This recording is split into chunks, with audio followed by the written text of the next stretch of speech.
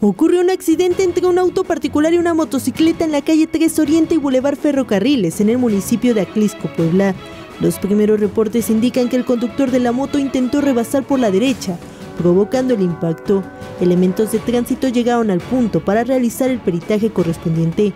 Cabe mencionar que durante varios minutos hubo una discusión entre los involucrados, pues ambos decían tener la razón.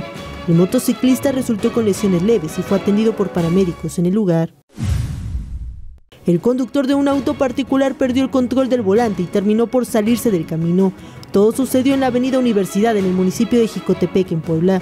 De acuerdo con las primeras investigaciones, lo mojado del pavimento a causa de la lluvia fue lo que provocó que el automovilista no pudiera maniobrar, causando el incidente. Servicios de emergencia llegaron para otorgar el apoyo necesario al afectado. Posteriormente fue retirada la unidad siniestrada. Todo quedó en daños materiales.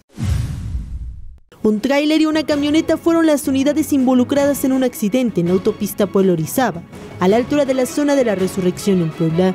Los hechos ocurrieron con sentido a Veracruz. De acuerdo con testigos, la falta de precaución por parte de los conductores fue lo que provocó el choque.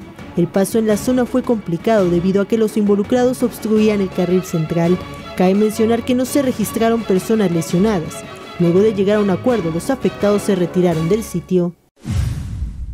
A través de cámaras de videovigilancia se logró captar el momento exacto en el que un hombre llega a un predio ubicado en la calle 5 de Mayo, del municipio de San Francisco Altepeji, Puebla, y provocó un incendio en el pastizal del terreno.